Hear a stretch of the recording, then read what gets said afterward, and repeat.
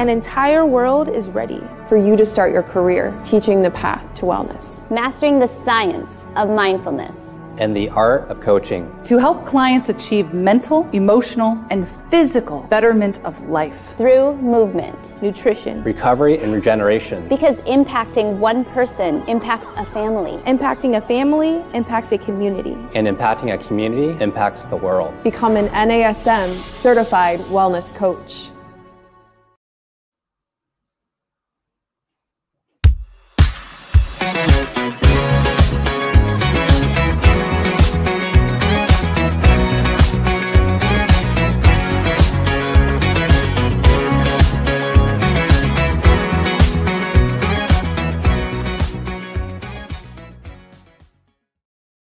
Well, hello there, listener, and welcome to the Better Than Fine podcast here on the NASM Podcasting Network. I am your host, Darlene Marshall, and I want you to imagine for a moment that you are so gung ho about your goals. You know exactly what you want, you know exactly what to do, you are making good progress. Maybe you're working with a trainer, maybe it's with a coach, maybe you're just doing some program on your own, but it is clicking and you are feeling real good. And then something happens. You stumble a bit, you regress. Maybe something stressful happened at work or in your personal life. Maybe something really disruptive takes you out of that game for a while. And so you know what to do. You know what's worked in the past. And maybe you're even beating yourself up about it. You're frustrated, you're regressing a bit. So you take a break. You like let yourself off the hook for a bit. Totally normal no shame on any of that. Life happens, people have lives. But you want to get back to it. You want to get back into the game. But for whatever reason, when the time comes, when you're like, okay, okay, picking it back up, you can't seem to get yourself to pick it back up. You're stuck. You are in the stuck place. So, what gives with that lack of motivation when you know what to do, but you can't seem to get yourself there? And as coaches, as trainers, we encounter this over and over and over and over. This is part of our bread and butter. But as, as clients, as students, as people, we often just want like that perfect motivation hack, that button push that's going to flip the switch back to what's going to work, right? Like make it go. Last week, this happened with a client. Uh, they took a break, they took a long vacation, they'd had a lot of stress at work, a bunch of stuff. And so they had decided that the best thing for their wellness was to take a little break. And then they were really frustrated with themselves with the regression that came next. Even though they agreed it was the right decision, they weren't really happy with where they landed in the end of it all. So they came back to me. They're like, okay, Give me that motivation, coach. They wanted me to wave the magical wand around their motivation like I'm some kind of fitness witch and make it go. That is not what they got. Spoiler alert, but I am going to tell you what they did get because that is what this episode is here to dissect. How does motivation work? How do can we have all these different motivations at once? What happens when those motivations are in conflict? How do we get through it? And how can you get through it when your motivation is lagging? Well, that's what we're here to dissect this week on the Better Than Fine podcast. So let's get to it. Motivation. You have it or you don't, right? Eh, wrong. Buzzer sound, stop the game. That is not how motivation works. It is not a light switch. You are not a light switch. You are a person. And just like people are in a process, your motivation is also a process that can be kind of complex. So, what is motivation? Well, it's this complex exchange between your body, your subconscious, and your conscious mind. So, you have foundational needs. Some of those foundational needs are physiological. That would be like water, food, shelter, sex, air, right? Like you have physical needs. You also have psychological needs. If you've listened to this show for a while, you've heard me unpack that you have the need for autonomy. So, do I have a say in my life and how my life is lived? Do I get a choice? That's autonomy. Relatedness. Does my life mesh? Do I have a cohesive self? Do my friends and my family and my community and my society match my values, right? Do they all kind of weave together in a cohesive way? So, autonomy, relatedness, and competence. Can I show up in the world pursuing the things I want and I'm able to pull them off? So, these are all psychological foundational needs. So, along with our physiological needs, along with our psychological needs, we've also got a bunch of biology and chemistry that's going to affect us in the moment. So these are things like your stress response that's going to show up in your hormones or your central nervous system. How well am I processing my stress in my life? These are things like dopamine playing a big role. So that's a neurochemical that affects our ability to focus and control our behavior. So let's say that you've had the kind of night's sleep where you're exhausted, you're stressed, life is feeling kind of rough in that time. So your dopamine is a little low. You're going to have trouble focusing, controlling your behavior. And that stress, all combined, is going to lower your in the moment motivation, your desire to control your behavior and go after the things that you say you want in your life. So we're already getting complex in the motivation equation. But what we haven't touched on is external social pressure and systems of control. That can be good or bad. So on the bad side, we've got things like like perfect example, being a teenager. When you feel really self-conscious and and you're afraid that everybody's always watching you and judging you, you are very very sensitive to your peer group. So you'll even change yourself to fit into that social pressure. And we all are reactive to this. So this is that feeling of like watching people on social media and then feeling like you need to do what they do, or my life's not good enough, or cute enough, or fancy enough, or fit enough. That external social pressure is putting pressure on you to change your behavior and it's going to affect your motivation. The good side of that is something like smoking cessation right? I remember when i used to, I used to be an actor i used to smoke when all the people in my in group my, my group i was hanging out with were smoking well i changed social group. And then soon after i quit smoking is right around the time i became a trainer. So also i see big positives out there in the like positive social pressure for self-love self-compassion inclusion equity. These are all examples of positive social pressure and systems of control. But when it comes to wellness, the latest fitness trends, the desire to be like conventionally attractive, to look young, to be a certain size, we might override our physiological needs in order to meet these social and expectation needs. So now we're getting a real complex equation of motivation. You're listening to the Better Than Fine podcast. I'm your host, Darlene Marshall. We are talking about how do you unstick motivation. And we're diving into well, what are the factors that affect motivation in the first place? Because I can't tell you how to get unstuck if we don't know how you get there. So let's continue this train rolling. So we've talked about your physical needs, we talked about your psychological needs, we talk about the way that social pressure and like systems of control can affect our perception of our needs. But what we haven't talked about yet is your conscious mind, your thoughts the things that actually are you, that you genuinely value and desire, right? If you have a strong value around an aligned life of wellness, well, that's going to be a whole different effect on your motivation than, say, if you value like partying every night and having a good time. So, our choices, our aligned choices, are part of this motivation equation. And that's a lot of subtlety and nuance, right? But that subtlety and nuance is in conflict with the way that we're taught to think about how we get around motivation. So our conventional, you know, fitness industry, wellness industry milieu, the way we're taught to think about it, is this like rise and grind culture that tells us that it's just mind over matter, right? You just gotta want it more. Well, maybe that sometimes works for some people.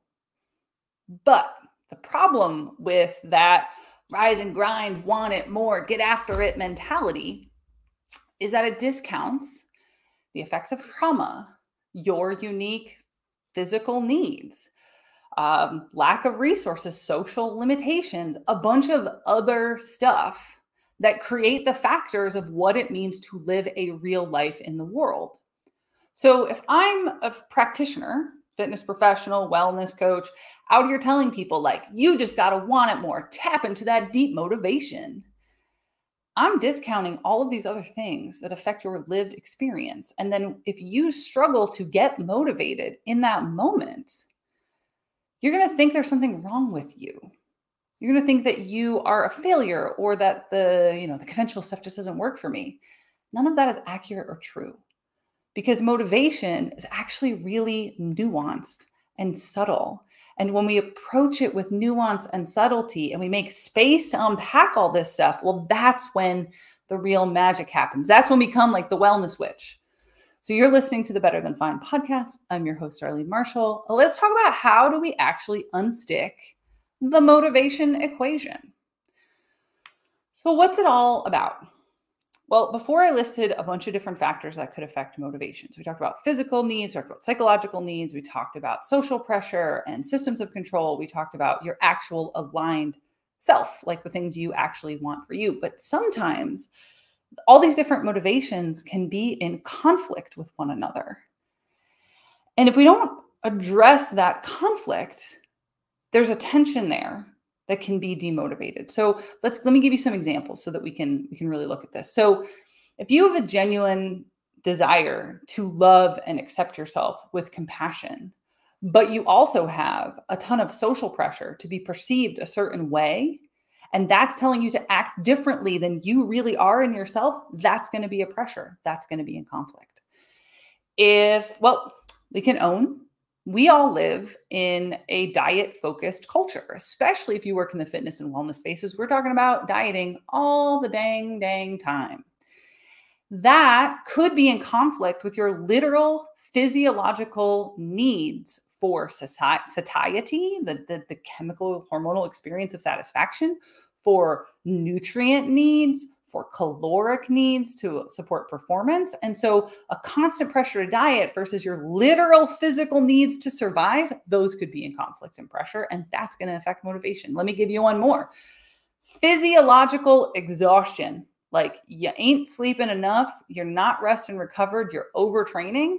That could be in conflict with social norms around like push hard, go harder, go home. Every workout has to be the best dang workout. Ugh. But if you're already exhausted and you are already burnt out, that could actually make it worse. So that's going to affect your motivation behavior. So sometimes we're stuck. It's because the motivations are in conflict. And you might not know when this is happening. You might just feel stuck or demotivated. Or you might know that something is off, some that feeling of like conflict and pressure, but you might not know what the needs are that are actually in conflict. Or maybe you know what needs are in conflict, but you don't know what to prioritize first. You know you're not sleeping all that well, but you also feel like you're supposed to exercise. Is an exercise good for sleep? I don't know. Do I work out? Do I go take a nap? Maybe you know that, you know, you, you have a social cultural belief that you should be eating a certain way but you're also hungry. Which do i prioritize? What do i do? So you remember that client that i mentioned in the intro right? the client who wanted me to be like the fitness witch and wave the magic wand. They wanted the answer to magic motivation. So when I started to guide them to uncover some of these underlying motivations that were in conflict, they started to hesitate. They were guarded. They kind of pushed back, like, wait, I just want a plan. Because that's what they expected. They literally asked me, like, can't we just make a game plan? And I asked them to trust me. We worked together for a long time. So I, I had the trust in the equation here. And I said, we're going to get there. But if we just make a game plan without looking underneath at the resistance, the hesitance, what the resistance is being caused by, then the resistance will still be there. And whether it's three weeks or three months or six months or nine months down the line, you're going to come up against this resistance again because it's a pattern. And that cycle is going to continue to repeat yourself. And then you're going to get demotivated again. And we're going to be in the same ding dang place. So you have to look at the resistance. Another word for this, like tension, is ambivalence. And so the way that we look work through this is not that different between, to how you might clean out your dresser doors and your closets. We're going to take it all out. We're going to sort it. We're going to get rid of the things that no longer serve you. Maybe you're going to give some of it to charity. We're going to throw away the toxic and gross stuff.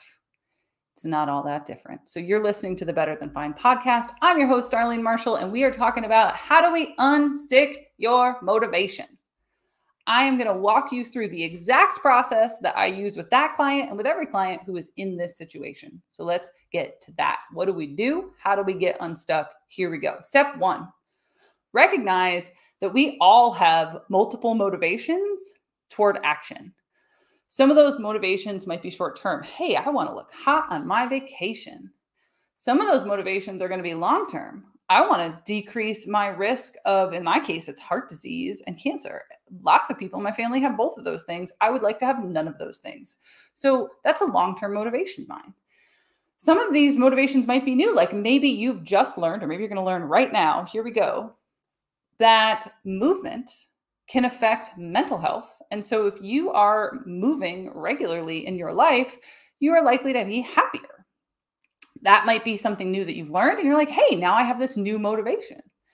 And some motivations are actually demotivating in the long term. Let me give you a perfect example. When we focus exclusively on how we look many people have an initial burst of interest in taking better care of themselves but over time that interest erodes and even if they manage to change how they look, they're actually less happy than the people who focus on literally anything else as a motivation. Uh, and eventually you become demotivated and you give up. So I want to repeat this like, we start by recognizing that we have multiple motivations to change and what those motivations are. And then we try to align those motivations with you, your values, and your goals. Because on the days that you feel challenged, knowing what your motivations are and knowing how they align with who you are is what helps to get the engine running. So, the next thing I look at my clients, first we start with you have multiple motivations. What are those motivations? Let's sort them so that we have like some nice piles of like the clothing in the closet metaphor.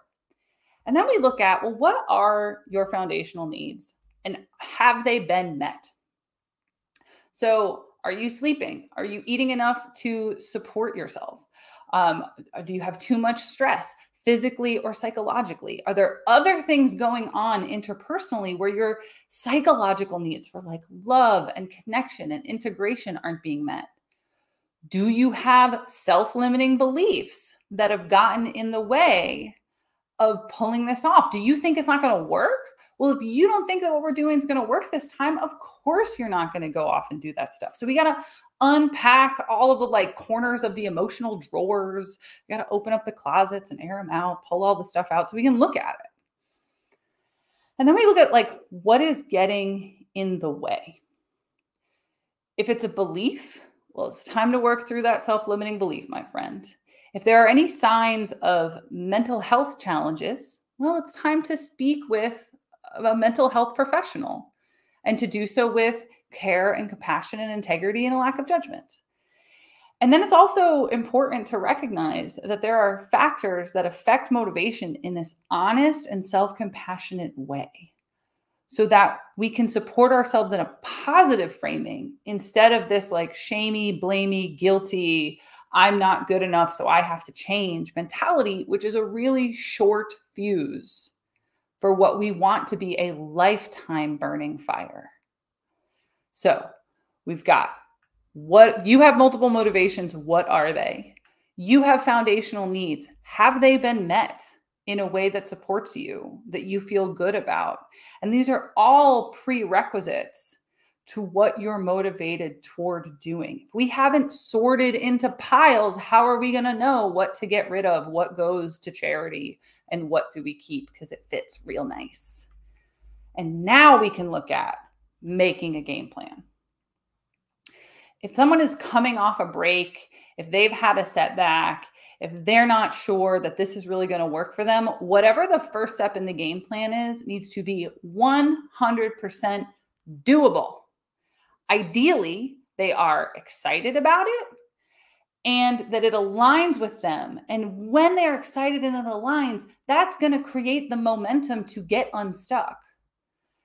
And it's really important in the game plan that we are honoring their current mental, physical, and emotional self. It can't just be a, you're going to go out there and get it, because that might not align with the stress, the burnout, the factors of a life. Because remember, we all have lives. As my friend Roger likes to say, people have lives.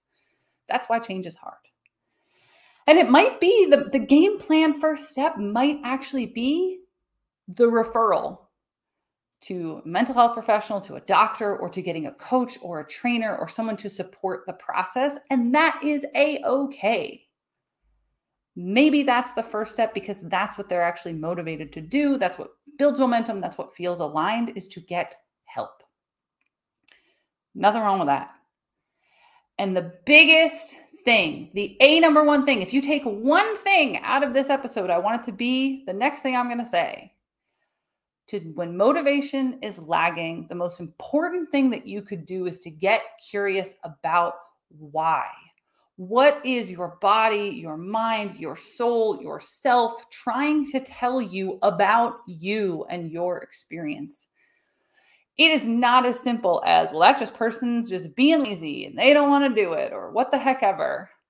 Because if you have invested the time and the energy to look at your values, your motivations, the influences on your behavior, and to ask yourself, why am I feeling this way? What is this lag about?